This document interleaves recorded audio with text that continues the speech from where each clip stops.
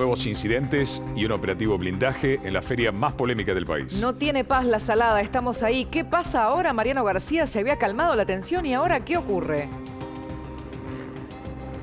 Se había calmado hasta que aproximadamente a las 6 de la tarde se escucharon detonaciones que podrían llegar a ser de armas de fuego y se produjeron corridas en las inmediaciones de la Salada. Es por eso que llegó el cuerpo de la Infantería de la provincia de Buenos Aires, armada con sus escudos, con sus cascos, alertas a lo que va a ser una noche agitada seguramente con el refuerzo de dos, no uno, dos helicópteros de la Policía de la provincia de Buenos Aires. Cuando se reanude intentarán que sea en forma normal la actividad de esta popular feria de Lomas de Zamora.